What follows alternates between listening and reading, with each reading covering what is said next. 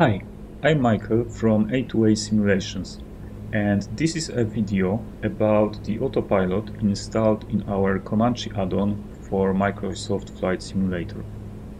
Initially it was meant to be a short presentation of the new GPSS module that we are adding for the 2024 update.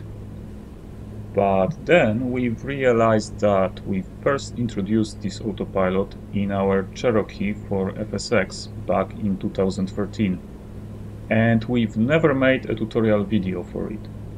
So let's make one now. Better late than never, I guess.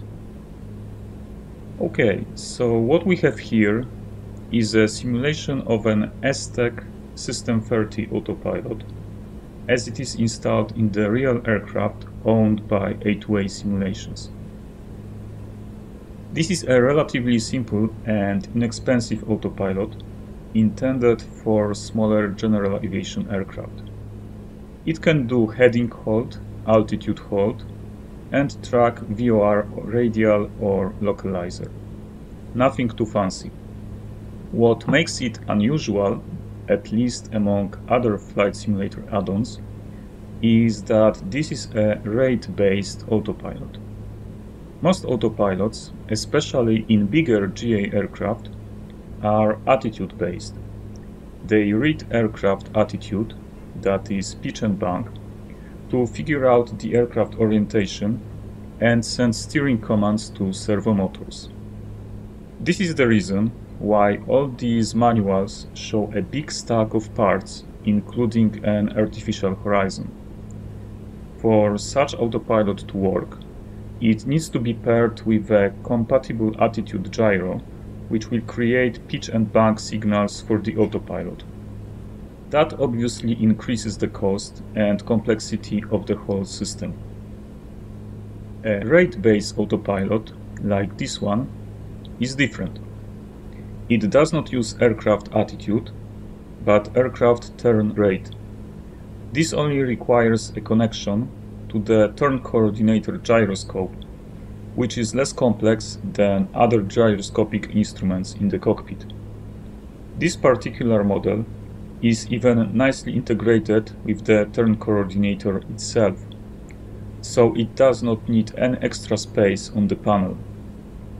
In a way, this autopilot flies the aircraft like a human pilot would in IFR conditions if his artificial horizon failed. It's not as precise method of control, but still possible.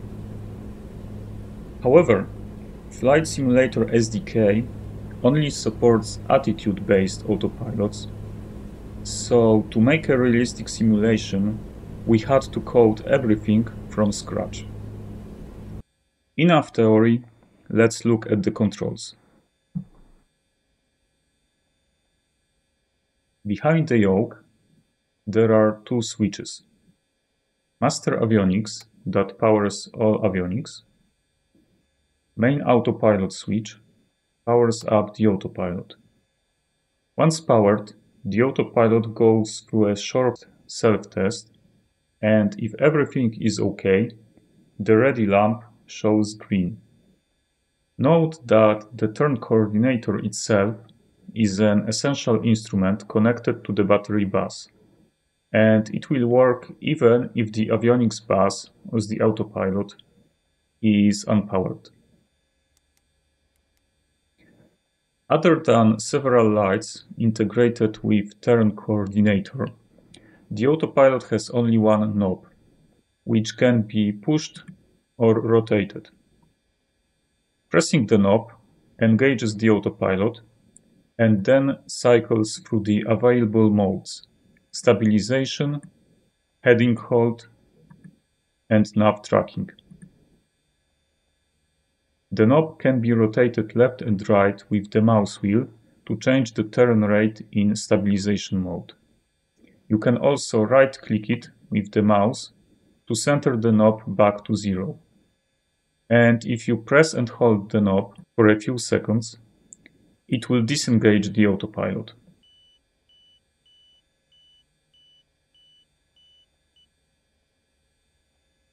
However, it's easier to disengage the autopilot with the dedicated button on the yoke itself. The other button on the yoke toggles altitude hold on and off. This works only if the autopilot is already engaged.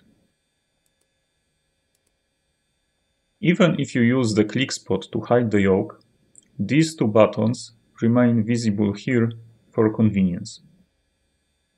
Finally, the latest addition is the GPSS button next to the GPS. The button is visible only if GPS is installed in the cockpit. More on GPSS later. Okay, let's test how it all works in flight. When you engage the autopilot with the knob button, it starts in stabilizer mode and only the lateral channel is active. That means the autopilot is in control of the ailerons but the elevator is still controlled by the pilot. The only vertical mode available in this autopilot is the altitude hold. To climb or descend, you have to move the elevator yourself, trim and pay attention what the aircraft is doing. It's not completely hands-free flying.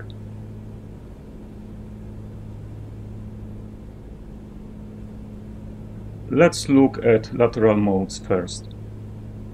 Stabilizer mode is used to hold the wings level.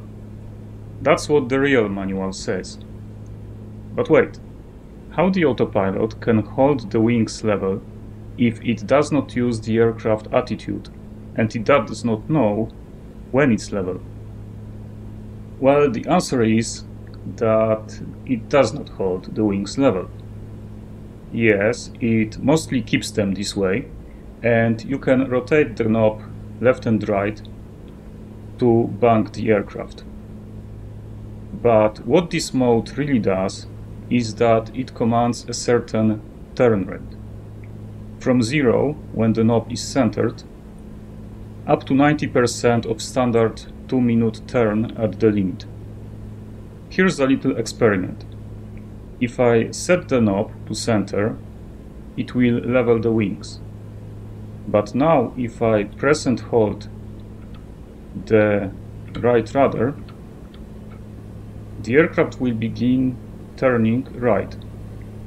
So the autopilot will bank the aircraft in the opposite direction just to stop the turn. And eventually will end up flying straight, but sideways. That's a feature, not a bug. In practice, stabilizer mode is not very useful. Maybe if you want to circle around the area or fly a gentle shallow turn. Most of the time, you will probably switch to heading mode right away. In heading mode, the autopilot will turn and hold the heading selected with the heading bug on the HSI.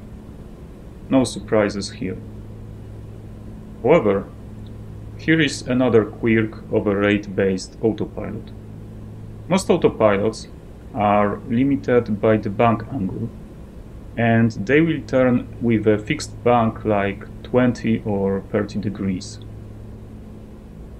This autopilot is limited by turn rate, which is 90% of a standard 2-minute turn. So when using heading mode, you will see different bank angle depending on your airspeed.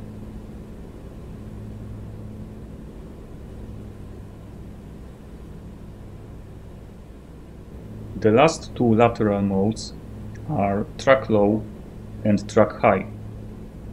They work the same, just have different sensitivity. In track modes, the autopilot will track CDI needle on the HSI. Basically, it will slowly turn the aircraft, chasing the needle as it moves left or right. It does not matter what drives the CDI needle. It can be VOR, localizer, GPS, or RNAV system. The autopilot does not care. It will always follow the needle and try to keep it centered. For most applications, track high is the recommended mode, but it may be too aggressive in hunting the needle when overflying the beacon. The important thing to remember is that this autopilot does not know which course it's actually supposed to fly. It does not see which way the course arrow is pointing, and it does not have any intercept logic in place. So to activate track mode, you have to already fly on the correct path, otherwise the aircraft may fail to maintain the correct course or it will even fly in circles. It is recommended to engage the track mode only if your heading is within plus or minus 10 degrees of the selected course and up to one whiff of CDI needle deflection.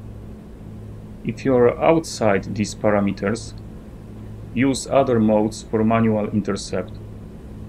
For example, if I set the HSI like that, the autopilot will keep turning left because CDI is deflected to the left, even though it means going in the opposite of intended direction.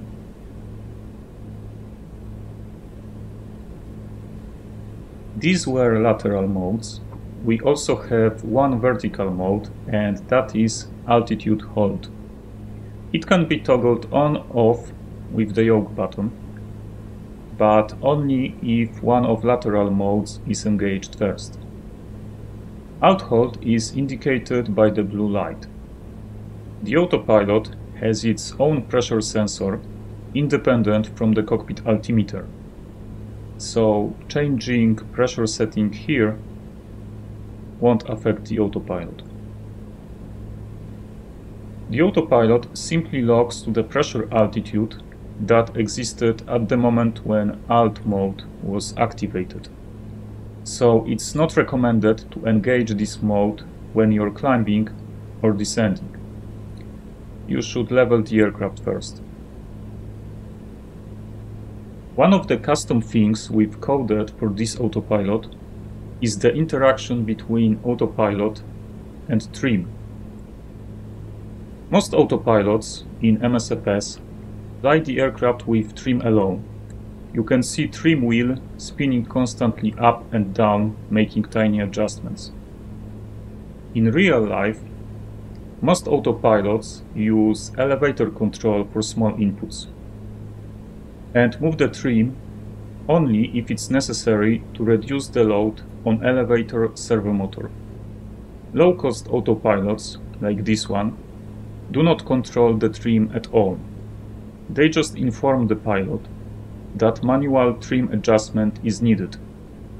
And from there, you can use your muscle actuated organic manipulator to grab the trim handle and move it in the required direction.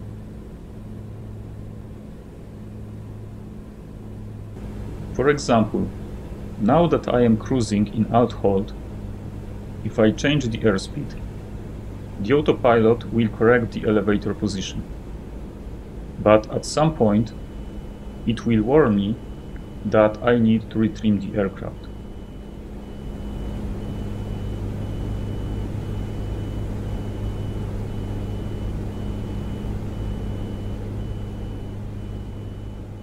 If I ignore that and keep reducing airspeed, the autopilot won't be able to maintain altitude anymore. Its elevator servo motor does not have enough power to pull the elevator further. The volume of autopilot warnings can be adjusted on the EFB controls page. That's all about autopilot functions. The last item left is the GPSS module that we've added for the native 2024 Comanche update. This allows the autopilot to receive steering commands from the GPS and to follow magenta line without additional pilot input. In real life, connecting older autopilots to GPS is not as straightforward as it looks in the simulator. Yes, you can switch the CDI needle control to GPS and use the mode designed for tracking VOR and localizer to also track GPS route like I am doing now. But that will only work well for straight route segments. If I approach something like a 90 degree turn or a holding, I'll have to fly that manually because this mode was never designed to follow such curved paths. A GPS also sends direct bank steering commands for the autopilot, regardless of CDI position. That's what modern autopilots use.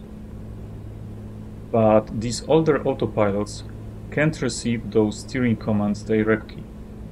So to make it work, we need some sort of converter sitting between GPS and the autopilot.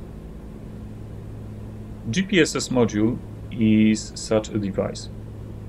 It translates digital steering commands coming from the GPS into analog heading error signal for the autopilot.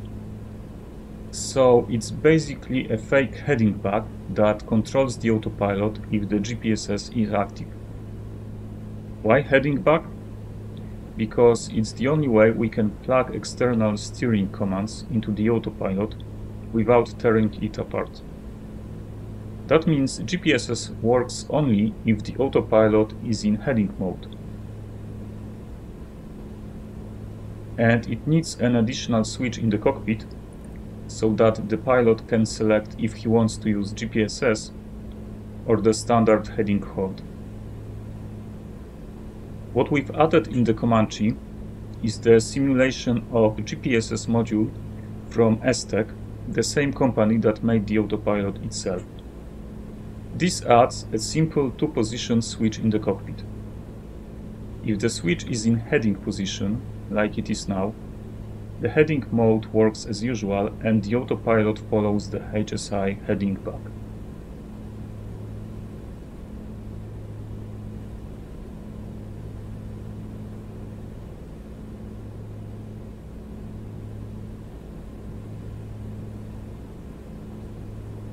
If the switch is in GPSS position, GPSS mode is active.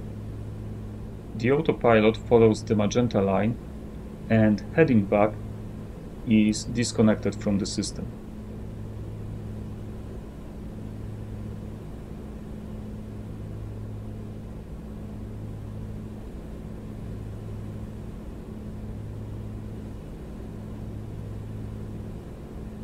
If the GPSS light is flashing, it means GPSS is on, but there is no steering, because either GPS is off, or there is no flight plan, or the aircraft is stationary on the ground and there is no ground speed.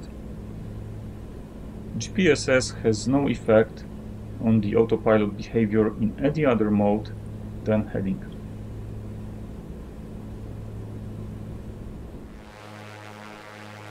Okay, that's all for this video. I hope you found it useful. We have more tutorials like this one planned for the future. Cheers!